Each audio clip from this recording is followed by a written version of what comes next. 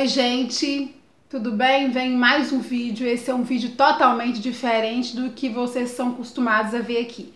Aqui tem de tudo: DIY, marido na cozinha, dicas da D, faxina, é, receitinhas. É uma misturada, né? Muito DIY, mas hoje é um vídeo totalmente diferente. Tava trabalhando, mexendo nas minhas coisas e Deus tocou no meu coração para vir fazer esse vídeo. Esse vídeo, gente, eu estou mais ou menos com 65.900 alguma coisa aí de inscritos. Esse vídeo não foi feito para mais de 65 mil inscritos, foi feito para uma pessoa que para chegar nessa quantidade de inscritos é feito de uma a uma. Assim, quando eu fiz mil inscritos, eu disse, eu faço vídeo para uma pessoa. Aí vai juntando um, mais um, mais um, mais um, dá bastante gente, né? Mas o meu intuito nesse vídeo é, não é alcançar uma grande massa. Se alcançar, que legal, vou ficar muito feliz. Mas é para um.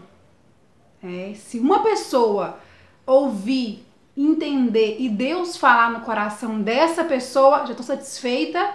E o objetivo principal do vídeo foi cumprido, que é tocar o coração dessa pessoa. Eu não sei quem é você, eu não sei o que você tem passado, mas o Senhor me incomodou agorinha para vir falar com você. É com você mesmo que eu falando. Tá? Se você ah, vai falar de religião, vai falar de Deus, vai falar de Jesus, não acredita, não confio. Respeito é a minha palavra de ordem aqui no canal. Eu respeito todos e espero que todos me respeitem também. Tenho a minha fé, não gosto de falar sobre religião, porque a minha religião se chama Jesus Cristo, que é Ele que nos liga ao Pai. Então não falo de placa de igreja, não falo de nada dessas coisas, respeito cada um. Se você é feliz, sente que não tá faltando nada, tá beleza. Mas se você tá sentindo um vazio, algo estranho, você tá talvez em uma religião, mas continua do mesmo jeito. Você não tá entendendo o que tá acontecendo, tá faltando algo. Então, eu tenho a solução do seu problema. Tá faltando Jesus na sua vida. Agora, se você não tá, tá belezinha, tem outro nome que você dá, no seu universo é força, não sei. Tá de boa, tá legal? Beleza, você tem o livre-arbítrio que foi conquistado lá no Éden através do pecado, né? Porque para quem não conhece a história, né, para quem não acredita também, tudo bem. Para você é uma história de carochinha, beleza? Super respeito. Você tem direito a acreditar no que você quiser. A vida é sua, você é quem manda. Então, gente, é, o homem ele conquistou lá no Éden esse direito de querer ou não. Ele conquistou lá no Éden é, através do pecado, quando Deus deu uma ordem e ali o homem desobedeceu e ele ali ganhou de presente o livre-arbítrio, porque até então ele estava no paraíso e ele teve o direito de querer não estar mais no paraíso e nos levar junto com ele. Muitos conhecem essa história, quem não conhecer, fala para mim que eu venho contar para vocês com detalhes que eu amo falar da Bíblia Sagrada. É o meu manual de fé e regras. Então, gente, eu venho falar com você sobre o meu o meu relacionamento com Jesus Cristo. É, desde criança eu o conheci ainda criança, eu venho de um lar não estruturado. Um dia eu vou falar com mais detalhes para vocês, ainda não chegou o tempo, mas ainda criança, na minha tenra idade, indo algumas vezes na igreja, minha mãe estava afastada na época, é, meu lar era muito turbulento, era muita confusão, era muita briga, e eu encontrei amparo, auxílio em Jesus eu ouvi falar desse Jesus. E eu pequena ainda na igreja, e ali eu me deparei com esse amigo. E eu o tive como um amigo mesmo. Muitos têm amigos imaginários. Ah, amiguinho, o meu amigo, ele sempre foi Jesus Cristo. E eu sabia que ele existia. Eu cria no que eu ouvia ali na igreja e eu comecei a conversar com esse amigo. Então, todas as vezes que eu estava em apuros dentro de casa, eu chamava por ele. E ele sempre me atendeu. E eu fui dessa maneira firmando um relacionamento com ele, fui crescendo e fui cada vez mais querendo conhecê-lo. E eu sabia que eu o conheceria através da Bíblia, dos cultos eu ouvia, eu ouvia hinos, os hinos da harpa, ouvia os irmãos, os pastores pregarem. E aquilo cada dia mais foi fazendo sentido na minha vida, eu fui crescendo. Eu tive uma fase, eu acho que a maioria das pessoas tem na adolescência, em que eu tava meio assim, meio perdida, e eu vi as minhas amigas, né, começando a sair, aquela coisa toda namoradinha e tal. E eu me lembro que uma vez eu dei uma tipo assim, ah, eu vou. Minha, minha mãe não tava, né, indo na igreja, muitos problemas em casa. Então eu lembro que na época de showmício, para quem não é dessa época, tinha e umas amigas minhas me chamaram para ir. E eu falei, você quer saber de uma coisa? Eu vou nesse negócio, eu vou.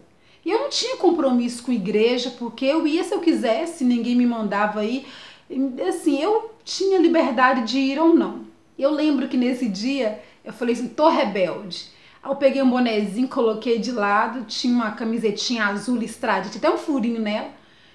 Coloquei essa camiseta azul, coloquei um, uma bermuda. Ah, tá, aqueles shorts de fazer educação física, coloquei que era a roupa de mais rebelde que eu tinha, era essa. E eu fui com as duas amigas minhas. E cheguei lá no show me, estava cantando uma música lá. À medida que eu ia me aproximando daquele lugar, meu coração começou a disparar, como se eu estivesse fazendo algo muito errado. Eu fui andando ali, aquele tanto de gente, eu vi mesas, pessoas bebendo. E as minhas amigas de repente sumiram e eu procurei e não vi elas. De repente eu vi uma pulando no meio do pessoal. O pessoal showmistas colocava um caminhão é no antigo bairro que eu morava na minha cidade, em Valadares, não é aqui que eu tô morando em Viçosa hoje.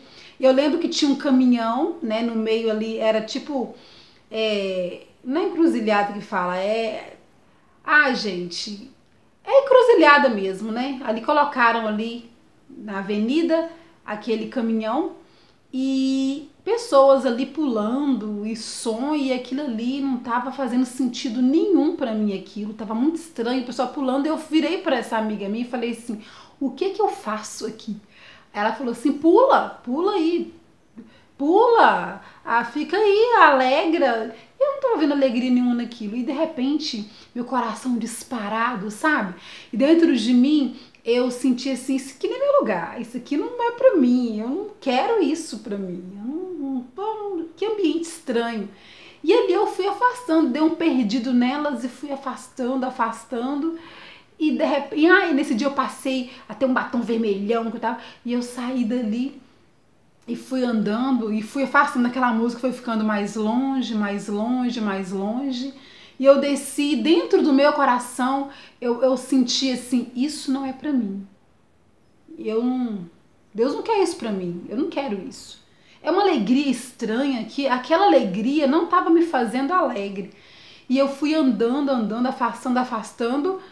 E, e eu, de repente, quando eu olho, tinha o que? Uma cruzada e eu olhei para aquela cruzada, era quase a mesma coisa de lá. Tinha tipo um caminhão também, e ali tinha as pessoas cantando o hino da harpa. Eu não lembro que hino que era, mas eu lembro que aqui, aquele, aquele hino, sabe, foi entrando dentro do meu coração, entrando, entrando, de maneira que eu senti uma paz, uma paz tremenda, a paz que eu sempre procurava, a paz que não tinha na minha casa, na minha família, que eu procurava essa paz que eu não tinha dentro de casa era muita briga, era muita confusão. E aquilo ali foi acalmando meu coração e eu fui para eu ouvi aquilo e vi onde era, eu fui para casa, ali eu tirei aquilo, coloquei outra roupa, voltei e fui para aquela cruzada. Sempre tinham cruzadas evangelísticas onde eu morava, no bairro onde eu morava, lá em Valadares, e ali eu senti, esse é o meu lugar. Então, para mim, esse foi o dia da minha conversão. Foi o dia que eu converti. Eu tentei dar uma de loucona, tentei dar um de não, vou experimentar, vou ir lá, todo mundo vai, as minhas amigas iam e gostavam e falavam maravilhas, e eu vi que aquele não era o meu lugar. O Senhor tinha me chamado, e ali ele chamou dentro do meu coração. E eu fui ali, e dali para lá eu não saí mais, graças a Deus. E ali eu continuei indo, né, para a igreja. Um, dois, é, dois lugares que meu pai deixava eu ir, que eu era muito presa, era igreja e escola. Então eu sempre fui muito dada a estudo e eu ia sempre na igreja. E assim foi o meu encontro com Jesus. E assim eu comecei o meu relacionamento com ele, comecei a ler a Bíblia e comecei a me apaixonar cada vez mais pela Bíblia. Quanto mais eu lia, mais eu me apaixonava e comecei a ver que na Bíblia tinha de tudo. Todas as minhas dúvidas, anseios, tudo que eu precisava, tudo que eu queria saber estava lá. Então, se você hoje está perdido, não sabe para onde vai, se vai para a direita, para a esquerda, para cima, para baixo, para, coloca a mão no seu coração, peça ao Senhor que Ele vai abrir é, os caminhos para você. Ele vai te mostrar, ele vai te direcionar. O Espírito Santo de Deus, que eu creio, que eu acredito, ele vai tocar no seu coração. Se você está perdido, se você não sabe para onde ir, eu te apresento esse amigo, alguém que está do seu lado em todo tempo, em todo momento. Tenha essa experiência, faça isso. Ninguém precisa ver, você não precisa ir na igreja para levantar a mão, não. Você pode estar agora, onde você está agora, no seu quarto, na sua casa, na rua, na escola, no trabalho, onde você estiver. Feche seus olhos. Se não der para fechar o olho, não tem problema. Fala na sua mente. Fala com ele. Eu quero te conhecer. Eu quero mudar de vida. Não tô gostando do jeito que tá ainda as coisas. Tá estranho, tá esquisito. Eu não tô me sentindo bem. Eu preciso de paz. E é esse Deus que eu te apresento. É esse Jesus que eu te apresento essa manhã, essa tarde, essa noite, essa madrugada. Um Jesus de paz. Aquele que conhece o seu interior, ele sabe o que você está passando, o que você está pensando, o que você está precisando, porque ele é dono de toda a ciência. Eu não sei o que está acontecendo na sua vida, mas o Senhor sabe. E não é à toa que eu estou fazendo esse vídeo, e eu espero que o Espírito Santo venha tocar no íntimo do seu coração. E esse não é o primeiro, eu vou fazer mais vídeos desse modelo e deixa aqui nos comentários se Deus te tocou. Essa palavra é para o seu coração. Essa palavra é para você. Não é para A, não é para B, é para você. Medite na palavra do Senhor. Abra, leia. Não entendeu? Pergunte a alguém. Você quer conversar comigo? Eu não sou artista. Eu sou uma pessoa como você mesmo. Eu tô aqui no YouTube, tem um canal, ah, tem 60 e poucos mil tal. Eu vou deixar o meu Facebook aqui embaixo. Entra lá, é, conversa comigo, tá? Me pergunta. Eu sou normal, não sou artista, tá? Sou totalmente acessível. Conversa comigo, vamos bater um papo. Tá? Eu quero te apresentar mais esse Jesus que mudou a minha vida, que mudou a minha história e pode mudar a sua vida e a sua história hoje também. Que dê uma, dez visualizações, não tem problema. O importante é você que está ouvindo que está prestando atenção no que o Espírito Santo de Deus está tocando neste momento. Então, se você gostou, deixa seu like, sua curtida. Se você não gostou, deixa também seu dislike. Esse vídeo ele tem um outro direcionamento que é o seu coração. Até o próximo vídeo. Tchau, tchau.